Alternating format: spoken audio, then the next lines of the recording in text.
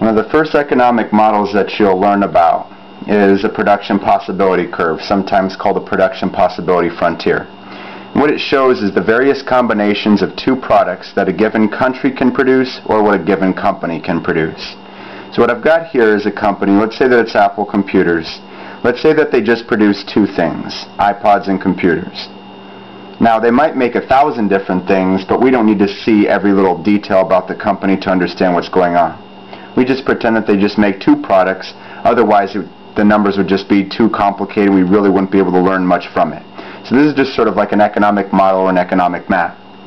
So I've got the two products, iPods here which I've called product X, computers here which I've called product Y. Let's say that in a given hour this is what they can produce. In an hour they could produce 20 computers and no iPods if they're as efficient as possible.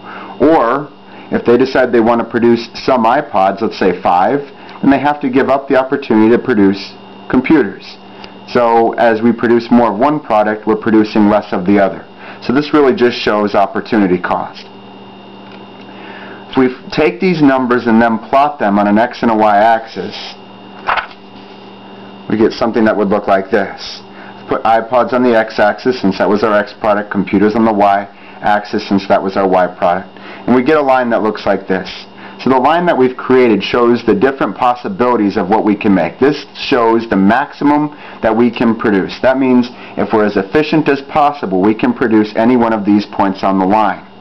But if we go from A to B or B to C or from any two points, there is going to be an opportunity cost or there's a trade-off of what we can produce as we saw in the previous numbers.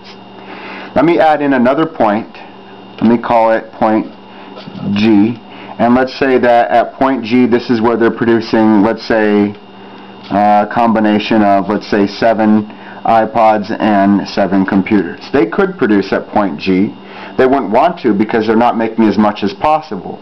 Only points A to F are is what is the maximum that they are capable of producing.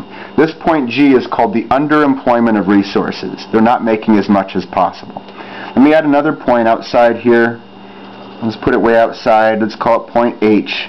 Let's say that this is when they're producing combination of 25 and 20. Clearly not possible at this current moment because it's not within this production possibility curve. They could produce there in the future if they got new resources or better technology, or maybe if there was some sort of trade involved. Um, also, other key points, point A, where they're producing no iPods but 20 computers, that point they'd be specializing in making computers because they're only making that one product. Point F over here, they're making 25 iPods and nothing else, that would be specialization in the production of iPods. Let's look at one other thing that they might ask you on the AP test, which is opportunity cost. They might ask you a question like, what's the opportunity cost if we go from point C uh, to point D. Well, opportunity cost is what you give up. So here they were making a combination of 10 iPods, 13 computers. Here at point D, they're making more iPods, but they're making fewer computers. So the opportunity cost, opportunity cost, remember, is what you give up or the next best decision. The opportunity cost of going from C to D would be that they lose out on the production of five computers. They were producing 13 computers, now they're only producing eight. So the opportunity cost is what we give up going from one point to another. So going from C to D, the opportunity cost would be five computers. What about if we went from E to D instead? What would be the opportunity cost? Well, we were producing 20 iPods, now we're only producing 15. So what is the opportunity cost of going from E to D? It would be 5 iPods. That's what we give up going from E to D.